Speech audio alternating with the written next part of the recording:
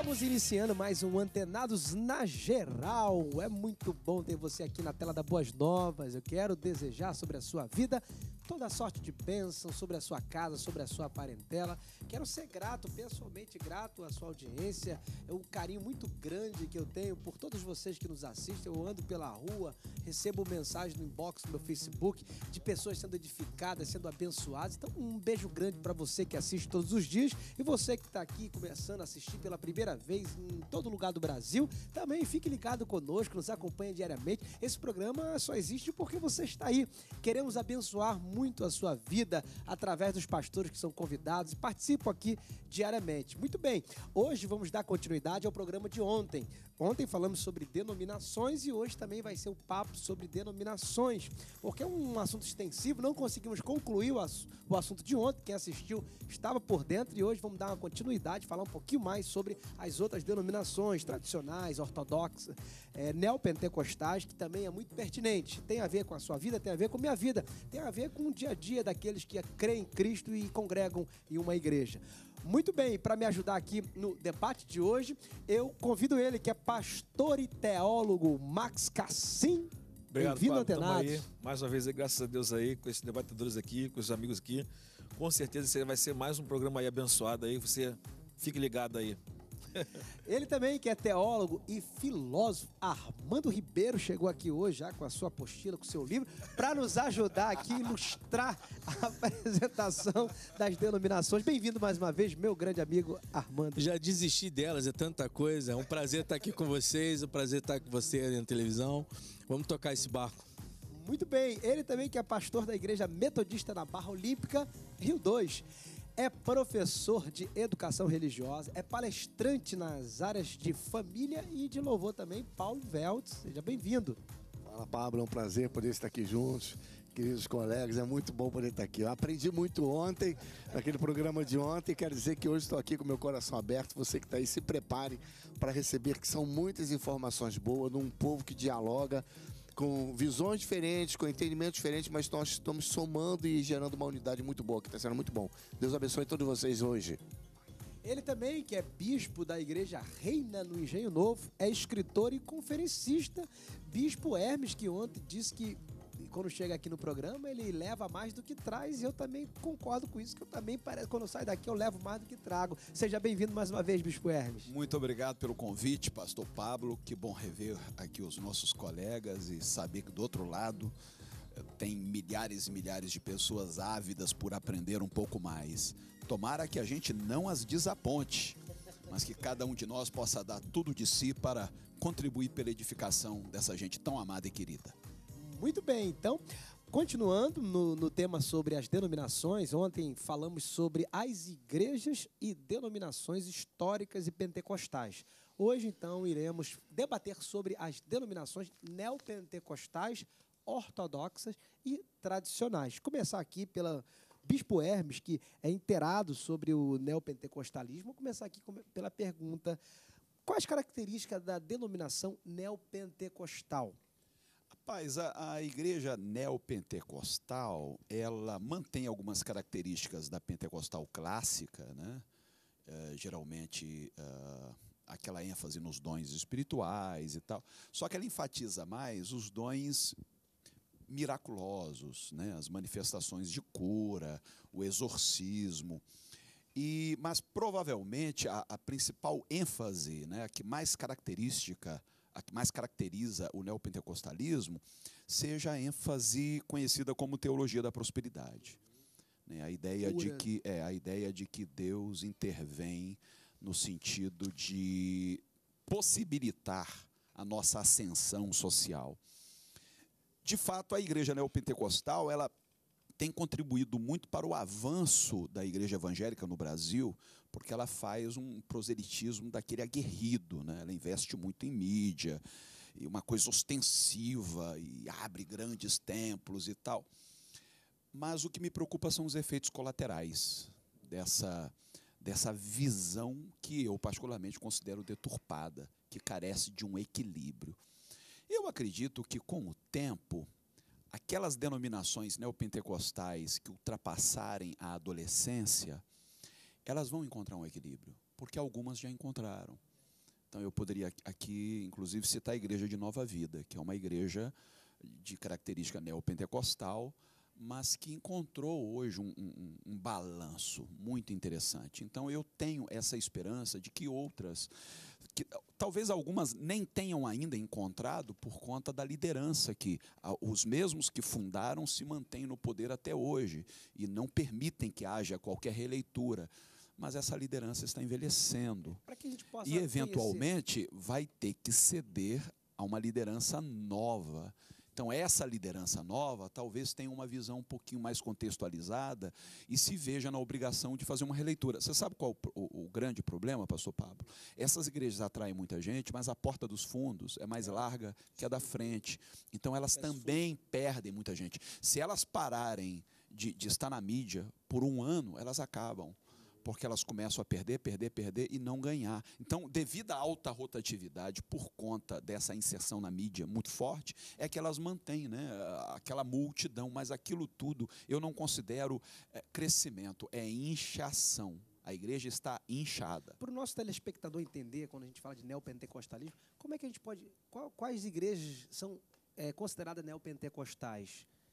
Começar é, pela. É, hoje tem a, é, hoje tem a IURG, né, a Igreja Universal do Reino de Deus, a Igreja Internacional da Graça, a Igreja Mundial do Poder de Deus. Essas são características é. neopentecostais. Isso, nós temos a, a renascer em Cristo, plenitude. a plenitude do trono de Deus que para mim já é uma coisa até mais caricata, é o, é o supra-sumo do, do, do absurdo. Ele de Flintstone.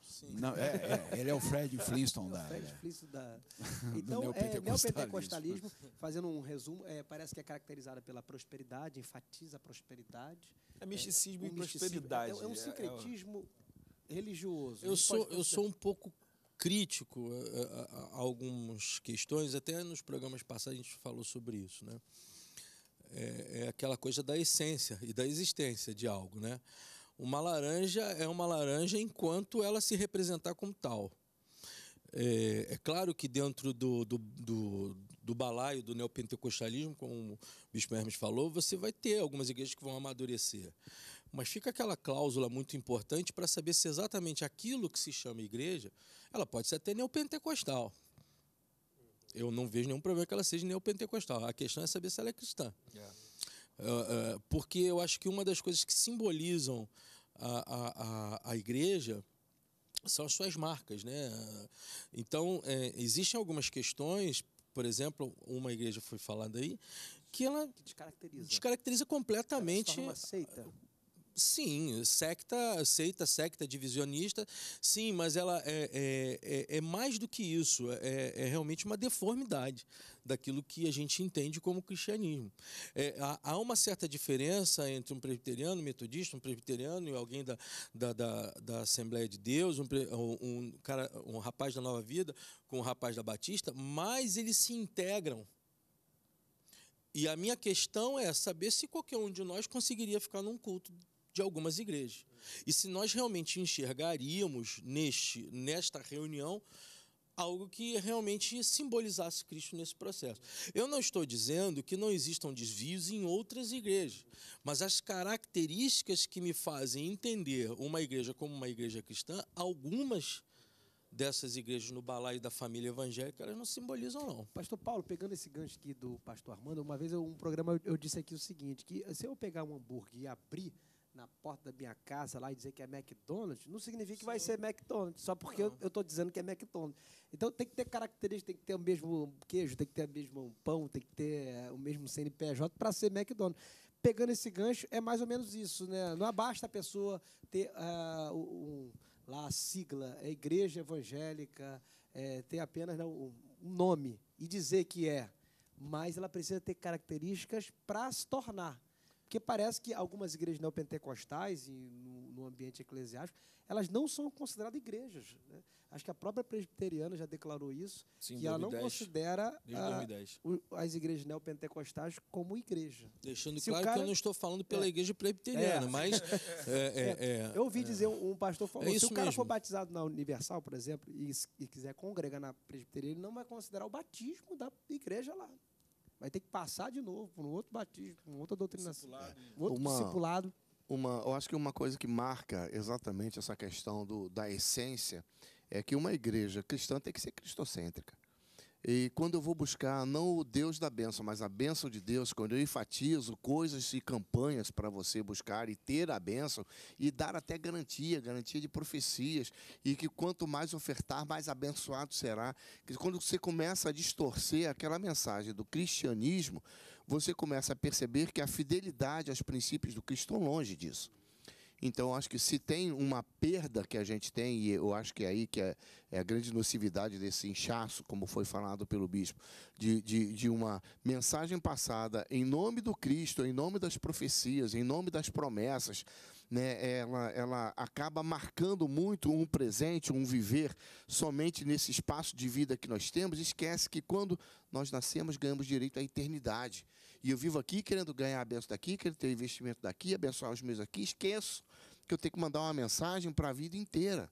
Então, eu acho que quando nós hoje vemos essa questão da essência do Cristo se perdendo, eu perco o temor, eu perco o amor, eu perco a, essa paixão missionária, eu perco tantas coisas que são essenciais na caminhada da vida. Eu fico, às vezes, com. Não adianta eu ter os princípios da Torá, não adianta eu ter os textos sacerdotais ou sapienciais, não adianta eu, eu amar as profecias ou mesmo os evangelhos, se, se eu olhar, ficar focado somente nas, nas cartas apostólicas, pastorais. E, e, e, não perceber que a Bíblia tem também textos apocalípticos no Antigo Sim. Testamento e no Novo Testamento. Que uma hora isso tudo aqui que é temporal vai passar.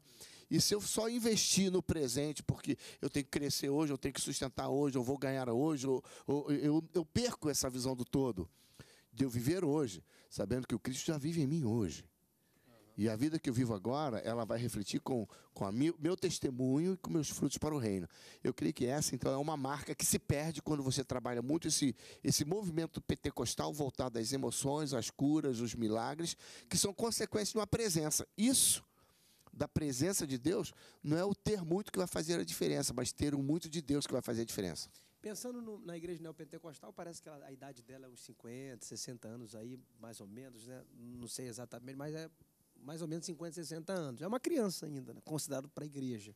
É, como o Bispo Hermes falou, que algumas até amadureceram, estão passando, mas essas que se, estão ainda nesse processo inicial do, do neopentecostalismo, que não são consideradas igrejas para algumas denominações, né? se, se afastaram do Cristo. É, e as pessoas que congregam lá? Porque pode ser que tenha alguém aqui nos ouvindo que é, congrega numa igreja neopentecostal, e aí, como é que ela, ela, ela vai dialogar com isso? Será que eu tenho que sair? Será que eu posso permanecer, mas eu gosto tanto, criei vínculo. Essa pessoa que congrega nessa igreja, é, qual é o prejuízo que ela pode ter e, ela, e o risco, né, o risco que ela está correndo, ou se não há risco nenhum, se ela pode continuar congregando, permanecendo, que ela vai continuar sendo salva, escolhida. Como é que a gente pode definir isso? Até para orientar o nosso telespectador, que pode ser que surja essa dúvida na mente dele. Eu estou congregando, pastor, vocês estão dizendo aí que a minha igreja está distante de Cristo. E aí, eu, eu, eu tô, vou sofrer algum, algum dano em relação a isso? Qual é o meu risco de permanecer numa igreja como essa? Se há risco. Se não há risco, como é que a gente pode definir isso? O Max Cassim. logo eu. Já, logo ele. Bom, o risco é bem grande. Porque os ensinamentos serão ensinamentos errados. A partir do momento que eu estou num lugar onde Cristo não é o centro, ali eu não quero estar.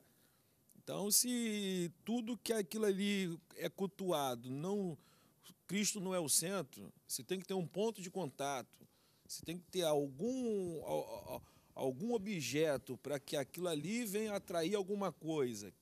É, se eu tenho que jogar dinheiros e mais dinheiros para alcançar alguma coisa, tem alguma coisa de errado.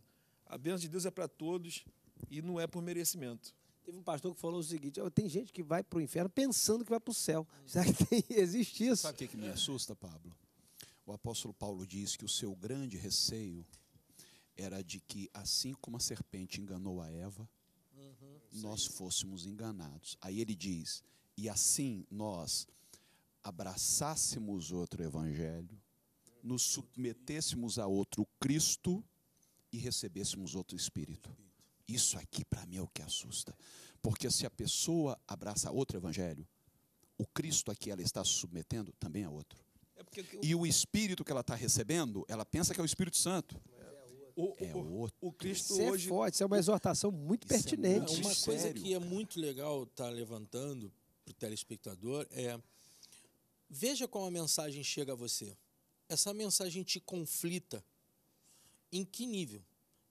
Num nível material ou num nível de transformação pessoal? Essas mensagens são adulações espirituais ou fazem você ir para casa refletindo eh, a sua vida dentro de um daquilo que você ouviu? O seu pastor ele é o centro daquela igreja, ele é a palavra final daquela igreja ou ele se permite ser conflitado na Bíblia? Porque a Bíblia conflita todos nós. Entendeu? Então, assim, o Evangelho, ele, ele, ele, apesar de trazer as boas novas, ele nos machuca em alguns Essa momentos. espada de dois Dois gumes, gumes. corta pra Corta cá, dentro, corta né? pra cá. Isso é uma, sabe, se você vai para uma, se você sente muita vontade de ir a uma igreja por um prazer parecido ao prazer cosmopolita que temos hoje, a ir a um cinema ou a ir a um fast food, começa a se preocupar. Porque um dos bons sinais é você pensar assim, eu acho que eu vou naquela igreja, mas rapaz, sabe? Já fica apreensivo. Isso é importante, isso é importante. Aquele pastor vai dar uma tra... vai, vai mandar uma cajadada. Não, não, não é uma peneira fundamentalista, não é uma peneira religiosa, é uma peneira espiritual. É você que está se peneirando dentro daquilo ali e Deus que está trabalhando nesse processo todo. Maravilha. Olha aí, esse primeiro bloco aqui já está começando quente. Nós vamos precisar para um breve break, aquele rápido intervalo. Beba uma água, pega um biscoito, não saia da sala, da- do ambiente que você estiver aí, porque ainda tem mais três blocos pela frente aí para abençoar a sua vida. Antenados, volta já, já.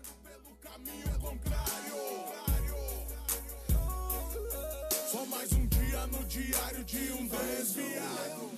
Como foi Sansão? Está de volta aqui pro segundo bloco. Eu tô rindo aqui que eu tô olhando pro Hermes, que no intervalo ele falou, pô, solta um reggaezinho aí. Soltaram aí um. É o que é? Essa é.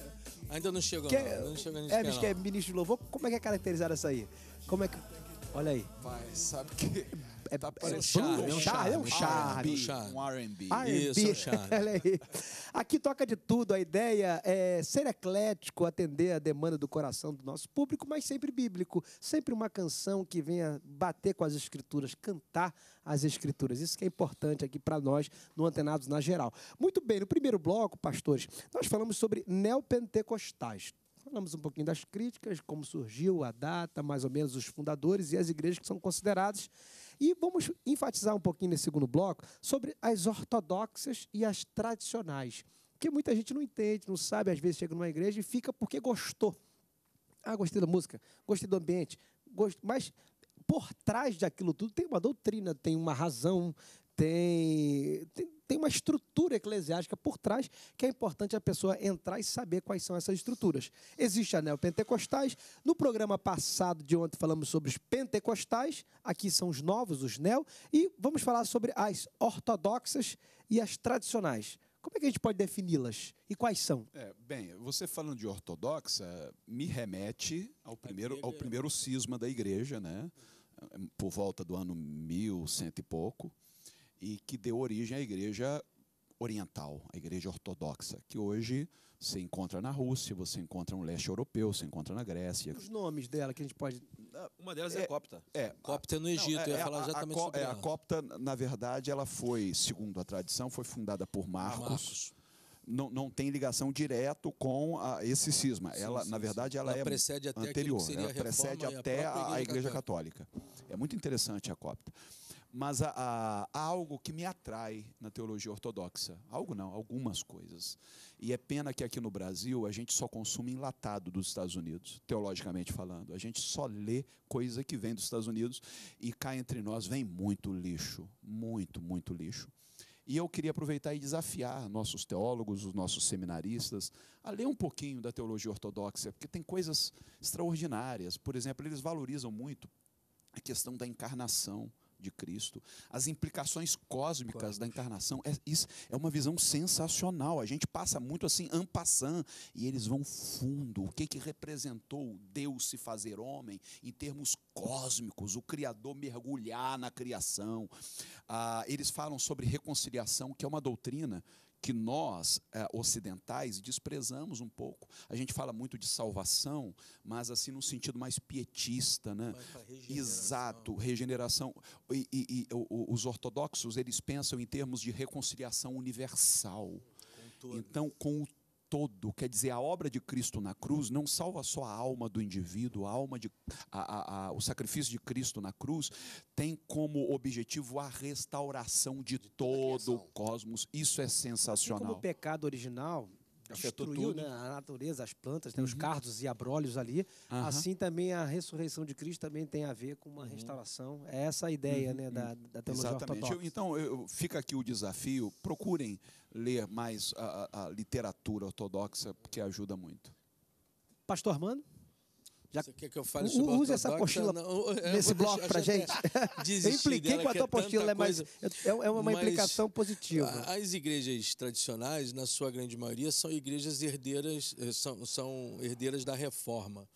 Então, a característica delas eh, seria um bibliocentrismo, né? não no sentido de adoração, mas na busca de, de entendimento, né? a, a fides, né? a questão da palavra, porque ela é muito importante em relação à questão da tradição católica.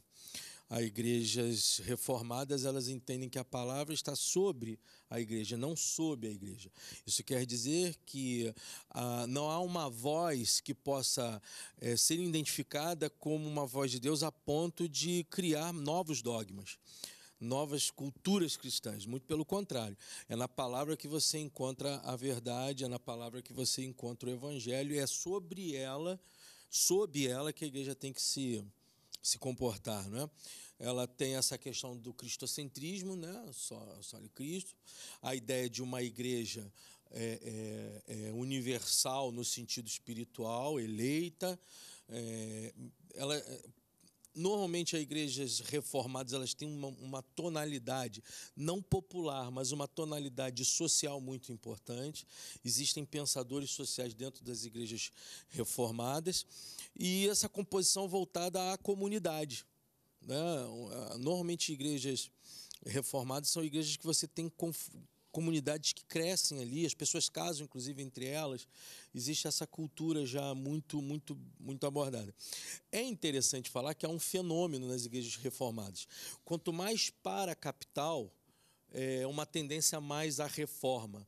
Quanto mais longe da capital, uma tendência pentecostal. Então você pode ir a uma igreja reformada em alguma região mais distante e você perceber ali um culto completamente diferente daquele que você esperaria como um culto reformado. Mas não existem é, é, grandes desassociações nessas relações. Então, é, é, ela é uma, as- os reformados, as igrejas reformadas, as igrejas tradicionais, digamos assim, quase todas elas têm esse, essa, essa herança da reforma. A igreja metodista de John Wesley, que também é um, é um, é- é- é um herdeiro da reforma. Então, normalmente elas têm essas Fazer uma outra pergunta aqui, corrigindo aqui meu vocabulário, que eu falei que é implicação positiva, é a implicância positiva da sua apostila, né? Mas é importante que tem muito, tem- eu tô vendo que ali tem mais 20, 50 páginas aí, que eu acho Tem, que tem, é só o resumo, você tá só tem. dando é um só um resumo. resuminho que eu Depois estudei eu vou querer essa apostila aí, viu? Vou, vou te mandar por e-mail. Vamos lá. É, em que contexto, então, pastores, cada, um de- desta, cada, cada uma destas denominações surgem? Parece que a, a ortodoxa ela surgiu depois, né, ali 1900, 1100 Mil- alguma coisa. 1100, alguma coisa. 1100 e alguma coisa. Então foi e deixar antes. claro isso que o Bispo Hermes falou, a igreja mais oriental, que vai ser a igreja que vai, vai originar a igreja ortodoxa, é uma igreja com é, é- é uma criatividade, com uma herança cultural esplendorosa. A gente fala da igreja copta, o Egito, ele era um lugar de propulsão cristã. Você não pode esquecer que Agostinho de Hipona está ali por dentro. Entendeu? Um pensador que vai influenciar a reforma, ele é um cara da África. né? A gente, às vezes, é, esquece a magnitude que foi a África durante um bom tempo.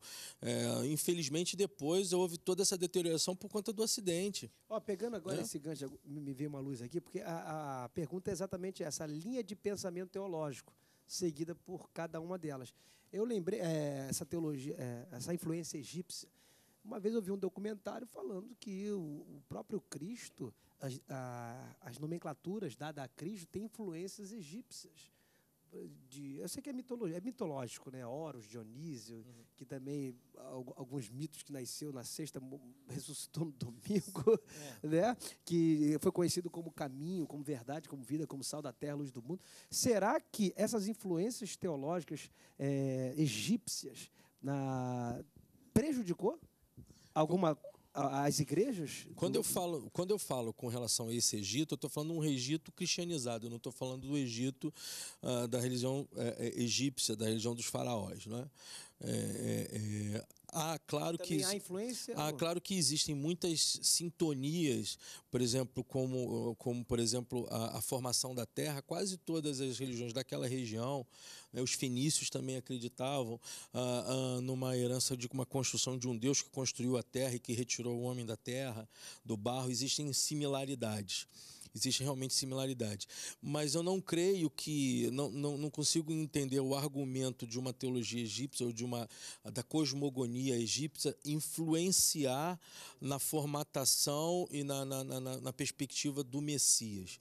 Isso existe muito nos elementos cananeus, existe em outras, em outras, em outras regiões, mas não, não vejo muito o O processo. Bispo Hermes falou aqui sobre não. a, a maneira teológica da igreja ortodoxa. né? Parece que ela tem uma, um vocabulário né, mais polido, mais, mais inteligente, né, mais debruçado, mais profundo. Então, essa pode ser considerada uma das características da igreja ortodoxa. Igrejas aí tradicionais, elas são mais, mais debruçadas, aproveita a ciência, aproveita o, Sim, o universo, sim, aproveita sim. as informações seculares e traz, converge tudo para, para o evangelho. É, é, é uma, a gente pode dizer que é uma teologia mais madura do que outras ou não? Eu não, não vou entrar nessa questão do ser mais maduro ou não, mas com certeza ela mantém, ela abre o olhar para aquilo que está ao redor. Para o ser humano que está inserido dentro de uma sociedade, uma, uma cultura onde entra o princípio do cristianismo. É, é, essa influência ela vai influenciar, é, sejam igrejas de tradição que vêm da ortodoxa, outros que vieram da, da origem reformadora, a terem um olhar para o, o outro como não sendo apenas um leigo que tem que atender o clérigo, mas alguém que precisa também de um cuidado. É, é, é, aquele movimento que nós até mencionamos aqui do metodismo, ele chega ao cuidado de você ter uma ação social forte, uma preocupação não só com a questão de evangelizar lá no- no- nas minas de carvão, mas de, de, de um jovens que antes de ir para a faculdade iam para as ruas tirar bêbados das ruas, porque as carruagens iam passar e quem tiver ia ficar. De, de, de um John Wesley que mais tarde prepara um compêndio de, de, de medicina para que as pessoas pudessem eh, ter medicação natural, porque não tinha dinheiro para pagar um médico ou alguém que fizesse uma alquimia para as suas curas. Então você começa a ver uma série de empenhos para que o povo pudesse ter saúde, pudesse ter consciência até política, pudesse ter uma visão de fé com princípios da palavra, tivesse um cuidado com o mundo. Né? Esse Wesley chega a dizer que Olha, no céu tem um, tem um lugar para o meu cavalo, cara, que, que esse cavalo me ajuda como meu companheiro de missão, é, né, mas muito mais do que isso, a preocupação dele de uma restauração da terra, É. que a natureza anseia pela manifestação Isso, dos isso. filhos de Lembrei até Deus. do, do Essa Francisco de Assis, Sim, né? Francisco, de- a irmão relação, sol, irmã irmãs, lua. é, a relação com os animais. Ca- que- Cada que- igreja, Pablo, é, é filha do seu próprio tempo. Tem que dialogar com as demandas do seu próprio. Contextualizar isso aí, Eu sempre senão uso aquele exemplo de Filipe, né? quando ele está lá no, no deserto e ele vê passar aquela carruagem e o Espírito diz: aparelha-te a ela, mas ela está em movimento. Como é que você vai se aparelhar uma carruagem em movimento? Então a igreja tem esse desafio de Deus. Você tem que se aparelhar a uma sociedade que está em constante evolução, que está em movimento, não é uma coisa estática. O problema é que hoje a gente se depara com de- algumas denominações que, que são anacrônicas, que perderam o senso de realidade, que estão tentando responder questões que perderam a relevância há, há muito tempo. Então a gente precisa voltar a dialogar com a realidade. Em que, em que contexto a Igreja Batista surgiu? Eh, que demandas ela atendeu? Em que contexto o, o- o metodismo surgiu? A que demandas o metodismo atendeu? E hoje, para que eh, esses movimentos tenham uma sobrevida, eles vão ter que se reinventar. Se reinventar no sentido de atender às demandas da atualidade, que nem sempre correspondem às demandas de quando aquele movimento surgiu. Então, este está sendo o nosso problema. Por isso que a, a Reina, por exemplo, tem o quê? A Reina tem 20, 25 anos, fez 25 anos ano passado. Quer dizer, um quarto de século. É uma igreja que não chegou nem à adolescência ainda. E, e a gente já está se reinventando, já essa, essa preocupação. Nós não somos hoje o que éramos 25 anos atrás, porque a realidade do Brasil mudou em 25 anos. Você falou sobre uma teologia tupiniquim. A gente precisa de uma teologia latino-americana. A gente tem que parar de consumir enlatado, gente. Pelo amor de Deus. Falou aqui de Agostinho, que é da África. Que, que a gente conhece da África em termos de teologia? Quantos de nós já leu eh, De- Desmond Tutu? que é o arcebispo da África do Sul, que eh, ajudou Mandela a, a enfrentar o, o apartheid. Quer dizer, a, a gente não para para ouvir essas vozes, essas vozes não nos interessam. A gente quer saber é que como é que Benihim consegue derrubar aquelas pessoas com paletó.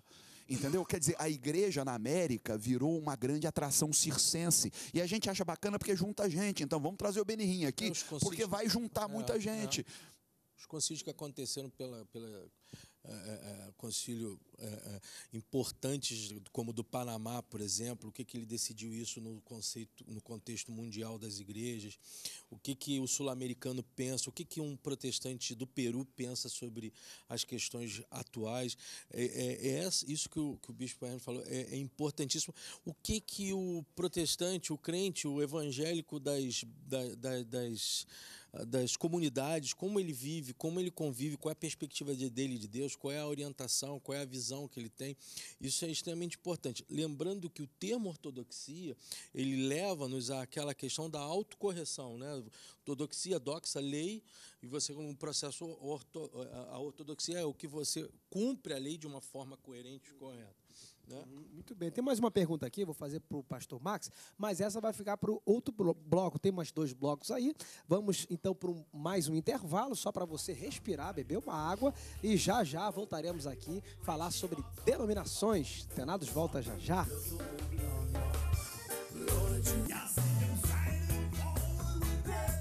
Antenados na geral está de volta aqui a pedido do pastor Armando, soltado Muito bom. reggae gospel. Muito bom. Reggae gospel.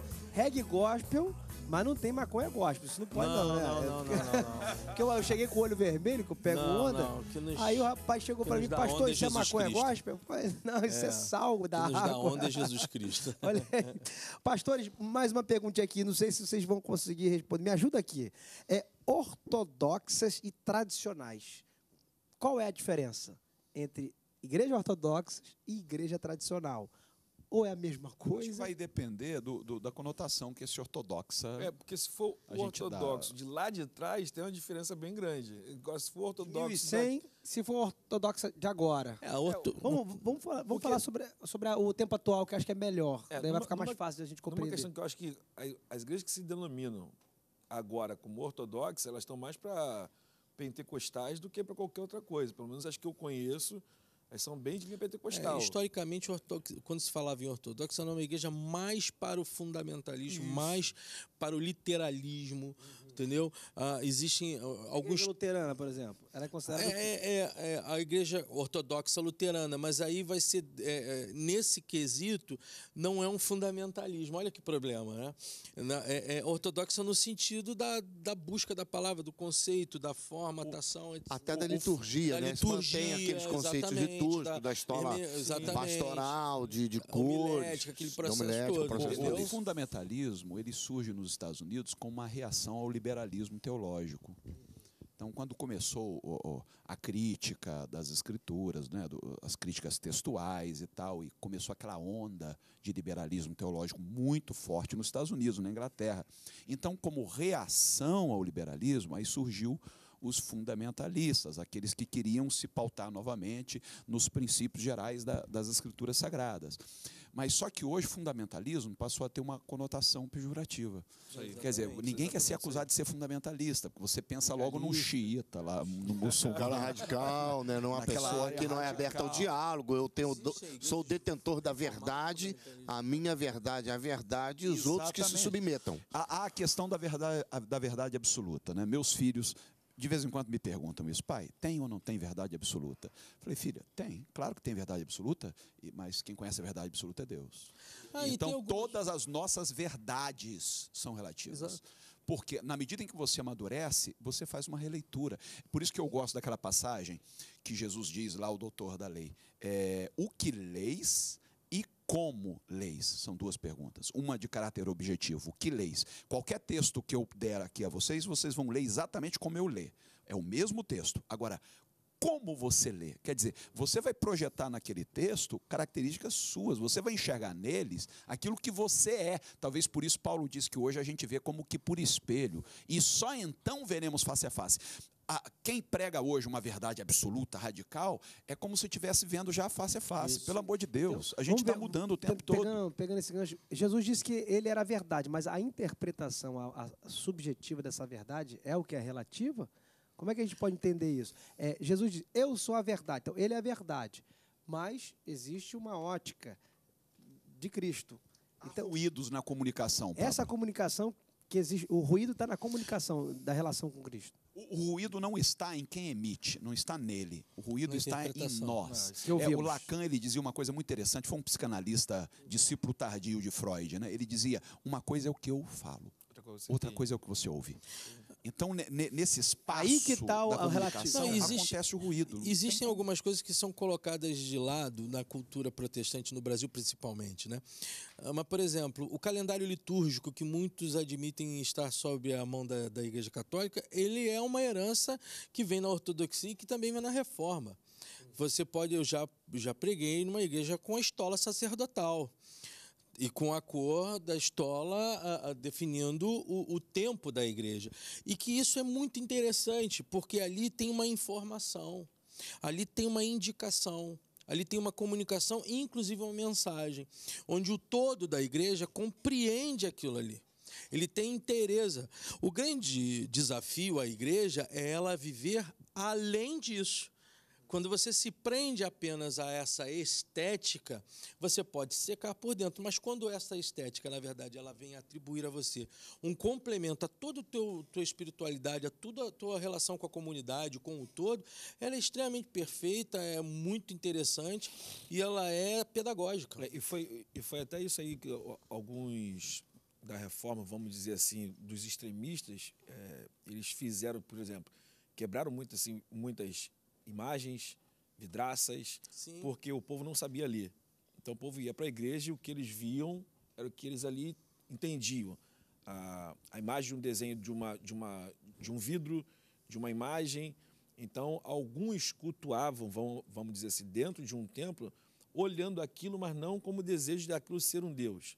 Só como, como aquilo ali transmitia uma mensagem, conforme está falando as cores da história. Então, quando alguns extremos chegaram, quebraram tudo. Então, tipo assim, rasgaram essas roupas, quebraram tudo, que é justamente isso.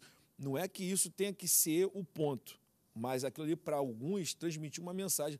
Não que aquilo para eles fosse um Deus, mas aquilo ali para eles mandava uma mensagem como se fosse uma mensagem pregada, porém não sabiam ler, então o que eles viam emitia para eles uma mensagem de paz ou do tempo da igreja, enfim. é, Pastor Paulo, a, a igreja tradicional, como é que a gente pode definir as principais doutrinas dela, que diferencia ela da, da ortodoxa e da pentecostal e da neopentecostal? A tradicional e qual o nome dela? Como é que a gente pode nomear ela? Ela, ela- ela tem essa característica, qual o nome dela? Que a, a neopentecostal, a gente sabe que é, Uma das é tradicionais que universal, poderia mundial, citar, graça, a pentecostal, assembleia, a cristã Batista, acho Brasil. que é mais. Essas As igrejas, tradicio- essas igrejas de tradição que a gente conhece, basicamente, elas são, são básicas, metodistas, a própria congregacional, a batista, a presbiteriana. São, são igrejas que elas vêm mantendo essa característica tradicional. Ela tem uma história. Podemos chamar até de, de igrejas históricas. Essas igrejas, elas se manifestam de uma forma onde ela tem uma preocupação com a educação cristã, ela tem uma Isso. preocupação com a, com a, com a sua expansão missionária organizada. Ela, ela, seus pastores, eles têm aqueles costumes de preparar uma mensagem de tal forma que até aquilo que ele, que ele, que ele pensa com aquilo que ele fala né, estejam coerentes, que às vezes a pessoa fala uma coisa e pensa uma coisa e diz outra. Então, o, o sermão de tradição, ele procura prezar por essa forma com que ele traduz, ele, ele evita um pouco os mise-en-scènes, embora use ilustração, usa os elementos litúrgicos para que eles possam atender uma, uma proposta pedagógica, como foi falado. A igreja de tradição, ela tem é, uma preocupação de envolvimento dos seus membros em ministérios da igreja, em, em comissões da igreja, organismos da igreja. Ah, Uma, uma igreja neopentecostal não tem muito essa preocupação. É muito do- convide alguém, traga alguém, vamos lá. Até temos algumas atitudes diferenciadas, mas as de tradição conservam uma forma de ser que ela não fica presa no ritualismo. Ela não fica presa no ritualismo, mas ela também não tem só o bombardeio de vem para a igreja, é venha servir a Deus. Essas igrejas novas, é, emergentes, que surgiram há pouco tempo, elas podem ser consideradas, é, é, entrar, dá para considerar uma igreja nova, ortodoxa ou tradicional, ou elas fogem desse, não, desse grupo? Não, é, é- é- Depende do líder. é, na- no programa passado eu tinha colocado o número de, de igrejas como outros, e na hora que o, o Bispo Hermes falou que e os desigrejados, existem hoje comunidades para-eclesiásticas se reunindo em casa. Uma outra característica interessante das igrejas tradicionais é o berço da escola bíblica. A escola bíblica é extremamente importante. Um membro de uma escola, é, é, um membro de uma igreja tradicional, ele tem que ter compreensão da palavra. Eu não estou dizendo que isso exista de fato com toda a, pujança que deveria existir, mas ele tem que ele tem uma, uma pedagogia, ele tem uma escala. As igrejas, essas as igrejas novas que estão surgindo, algumas inclusive para eclesiastas de herança da reforma. Né? Eu pertenço a uma, por exemplo. Então, assim, elas também trazem esse, esse, esse, esse quesito, por exemplo, da escola bíblica. Mas elas já se desfizeram, por exemplo, da questão dos símbolos, da estola, etc. Até por conta dessa condição a, a- a- ingressa na- na mudança dos tempos. Né? Então, é, não dá para você caracterizar uma igreja que seja tradicional, nascendo agora, a não ser que ela se transforme em tradicional como? Pertencendo a uma, uma, uma denominação dessas. Bispo Hermes, a igreja reina, ela segue alguma dessas orientações? Como é que, como é que a gente pode definir a igreja reina? Eu, o É povo riu aí, todo mundo riu porque é polêmica. É uma boa pergunta. Tô brincando. É porque é, é um, é um pouco diferente É, do, do, do, é. do- do padrão. É, digamos, é, é, eu, eu, eu, eu não sou muito afeito a rótulos. Às vezes eu tento me, me, me distanciar até do rótulo evangélico, pelo peso que ele traz. Então você às vezes quer levar o evangelho a uma pessoa, ela está tão vacinada contra tudo que está aí, que é melhor você evitar alguns jargões. Eu particularmente evito certos jargões e certos rótulos. Eu, o meu interesse é que o, o- o muro que, que nos separe da comunidade Quebra o evangeliquez. Exato. A gente, a, a gente lá economiza em aleluias, economiza em améns, economiza em paz do Senhor. Em todas essas expressões a gente economiza. Nada contra. Isso aí é um perfil nosso. Então você vai me encontrar lá vestido como eu estou aqui, bem à vontade, e não, não dou a mínima para certas regras de, de, de, de homilética, de ter que ficar atrás do púlpito, com cuidado com os gestos e com o tom da minha voz, dou a mínima para isso. Eu, minha preocupação é comunicar o evangelho de maneira simples. Eu gosto muito de, de, de Bonhoeffer quando ele, quando ele fala do cristianismo secular, de um cristianismo sem a roupagem sabe, é, é religiosa. Eu acredito muito, é a aposta da reina. Nós fomos uma igreja muito litúrgica. Eu, eu fui sagrado bispo por oito, oito bispos episcopais, numa catedral, numa, numa cidade chamada ah, Knoxville, lá no Tennessee, e eram oito bispos de, dos cinco continentes. Fizeram um, um rito celta para me sagrar bispo. Eu recebi uma cruz celta prateada, recebi a estola, tudo como manda o figurino. E durante os meus primeiros anos de episcopado, eu mantive a liturgia anglicana, ah, episcopal, até que eu cansei. Não acho necessário. É um peso desnecessário. Então, quanto mais a gente facilitar a compreensão, melhor. Nada contra quem mantém, não. Mas o perfil que a reina hoje adota é essa, é esse perfil. Algumas coisas, alguns hábitos que a gente tem, às vezes, causam uma celeumazinha em quem não compreendeu a proposta, como, por exemplo, de repente, no meio do culto, a gente puxar um Legião Urbana. Mas sempre dentro de um contexto, dentro de uma mensagem que a gente quer passar para a juventude, mostrando que a graça é comum, que a graça não é monopólio de uma instituição. A graça extravasa todas as fronteiras que os homens demarcam. Muito bem. Olha, nós temos mais um bloco para finalizar. Vamos fazer um resumo de tudo aquilo que a gente falou hoje aqui, que vai ser difícil. O resumo é sempre difícil, né? nunca, nunca completa o resumo, mas vamos tentar fazer um resumo. Você que está gostando, crescendo, sendo abençoado, não sai daí, que o Antenados volta já já.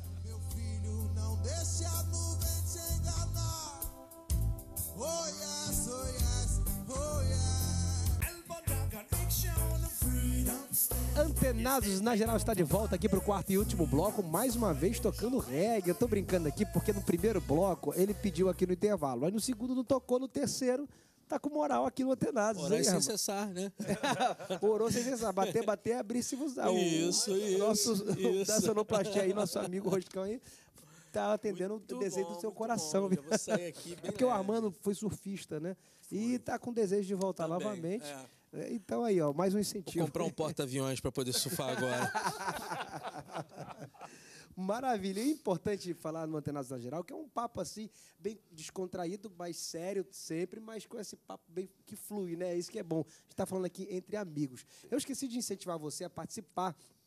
Estamos no último bloco, mas para o próximo programa você pode ligar para a gente. Passe debaixo da sua telinha o telefone da Boas Novas. Eu quero que você salve no seu Android, no seu iPhone, para sempre se comunicar conosco. Eu recebo no meu inbox, no meu Facebook particular, pessoas mandando perguntas, eu aceito com todo carinho, com, com todo amor, e eu trago para cá também para responder. Então, anote nosso telefone, manda para a gente aí, visita lá nosso canal no YouTube, que está bombando todos os programas lá.